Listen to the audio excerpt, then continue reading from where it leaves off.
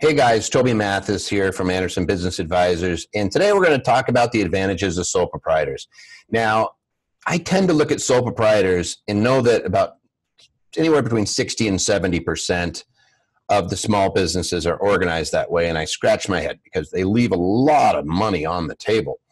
But there's a reason that there's 60 to 70 percent of people that are doing them that way, that are opening their businesses, and that's because they are flipping easy to start just by saying I'm in business. So I could literally go outside today, get a tool belt, and say I'm in the plumbing business. Go out and start soliciting people you know, and I get my business license, eh, depending on where I live. And some places you don't even need that. And I could just start running a business and say, go ahead to pay it to me. I am my business because that's what a sole proprietor is. A sole proprietor files all of their taxes on your personal tax return on a Schedule C. So it's really easy. In fact, I don't even have to get a separate tax identification number if it's just me.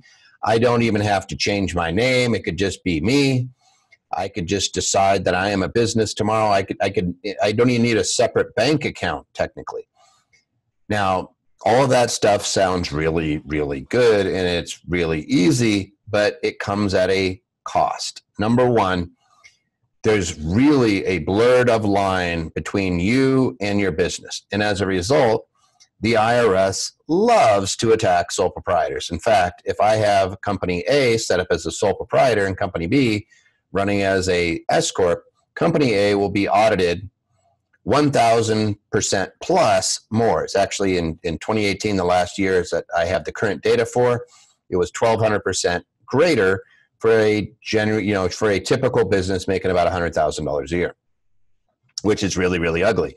If it's a smaller business, let's say that it's just the Joe Schmo making $40,000 a year, it's still a multiple of more than 400% higher, which is kind of scary. Now, here's the number that freaks me out the worst is the sole proprietor loses that audit, audit more than 94% of the time, which means nine like nine times out of ten you could actually say that greater than nine times out of ten you're going to owe more tax. And the reason is because there's such a blurred line between the business and the individual. So i tend to go do something else. So i'll almost always create some sort of structure. Even if you want to be taxed as a sole proprietor i'm going to create a bright line around somebody i'm an attorney that's what i do I don't want to leave it to chance. I'm going to create an LLC or something along those lines.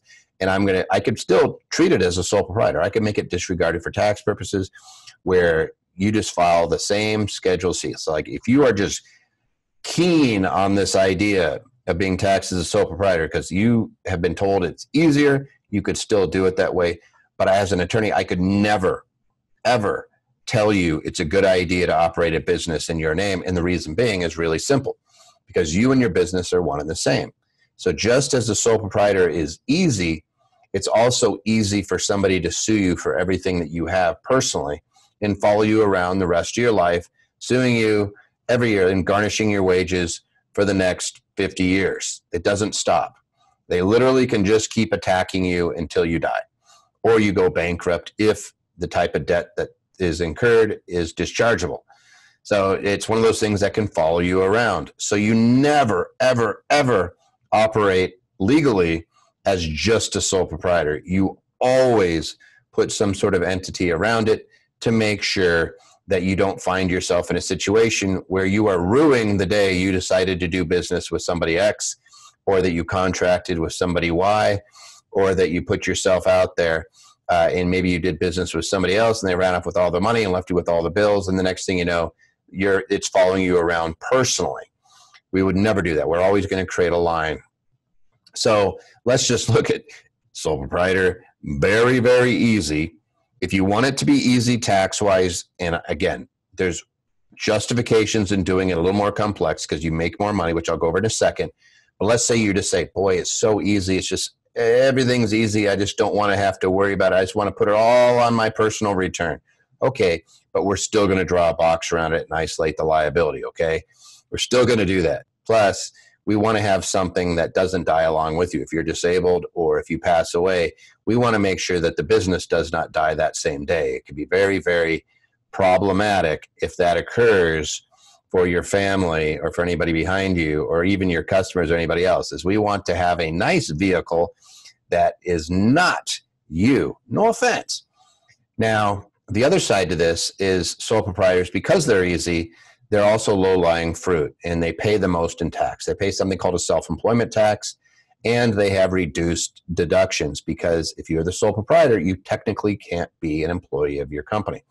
Something that we saw recently with the pandemic is that, is that sole proprietors are treated as second class citizens when it comes to relief, when it comes to banking, when it comes to loans. They weren't even allowed to participate in the first round of the Paycheck Protection Program because nobody knew what to do with them, and they didn't give them any of the benefits that were entitled were given to other businesses. So it was very problematic for the sole proprietor.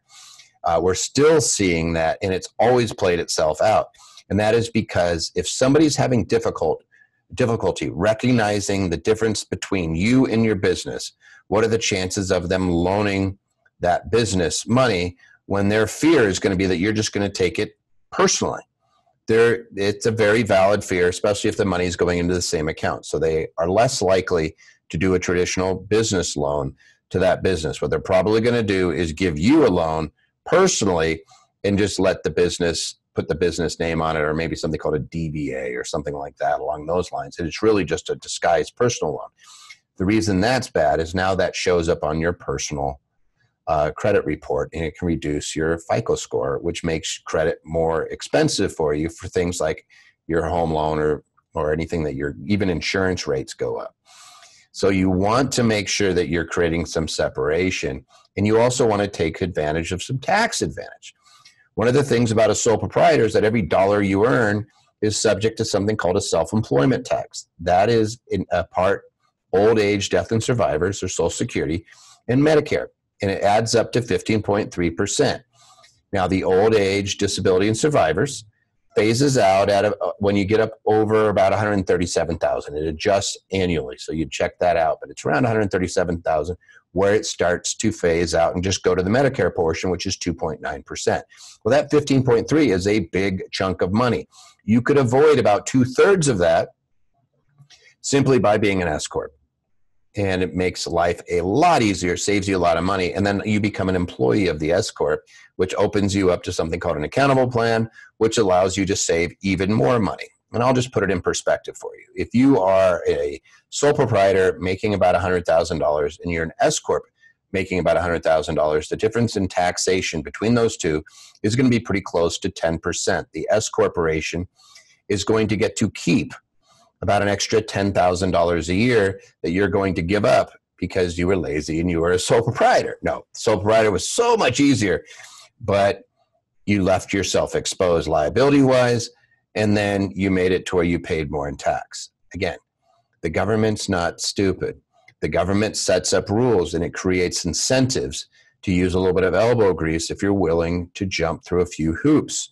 Once you do that, you get lots and lots of benefits, and here is one of them.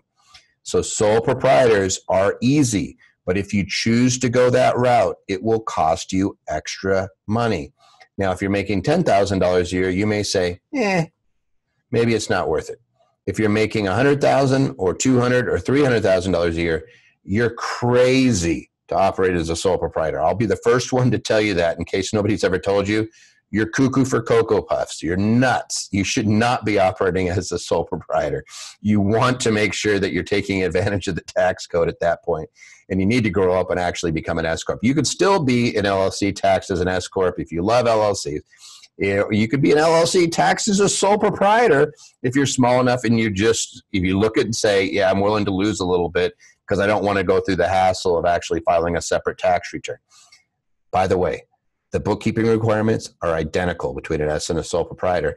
And the tax return that the S corporation files on isn't harder than the Schedule C that's part of your return for your sole proprietorship. So it's actually pretty funny from somebody standing in my stand, in, in my shoes. I'm looking at it going, wait a second, they're not that much different, but there's a huge difference in both the tax benefit the legal separation of the individual from their business, their ability to get access to capital, their ability to get access to loans. By the way, like don't even think you're not going to have partners in a sole proprietor. You can't. You can't have investors in a sole proprietor. You just can't. It's it literally you cannot. So it gets to this weird situation where if you want to grow, you're bearing the burden as the sole proprietor. If you want to grow as a corporation or as uh, an LLC, it's much much much easier. Now remember, the LLC can choose however it wants to be taxed. So it could be an S corp, it could be a sole proprietor, it could be a C corp. But all of those things have their pluses and minuses. So if I go back to the very beginning of this and say, why do people still operate as sole proprietors? It's because it's a default when you operate as a business and you do nothing. And then because it's so easy, all you have to do is nothing and you become a sole proprietor. That's why so many people are sole proprietors. That, and I'll say there's one last little thing, and I'm going to leave you with this. There's a lot of accountants that tend to be a little lazy and they don't know the difference. So the default is, hey, whatever you become, whatever's easiest. And with the IRS and in world in general, what's easiest is rarely what is best.